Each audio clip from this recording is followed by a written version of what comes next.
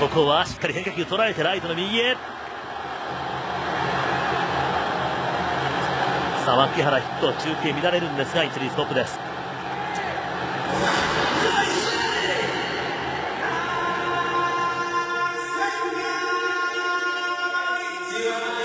ここは外の変化球うまくしっかりと叩きました。そうですね、はい、その前もあの、緩い変化球を投げる球、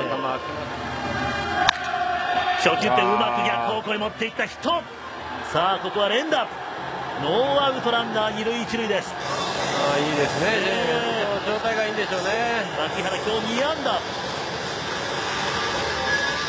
あ2本ともねこの右左打ち分けてますがクリーンヒット。そうですね、これも見事ですよね。その3球目。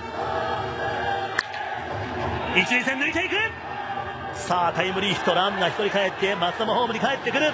バッターランナーセカンドへタイムリーツーベース。2点追加。5対1さあ今度はポイントゲッターの役割。今日は本当にもうよく働いてますね。ね見事ですね。今日3安打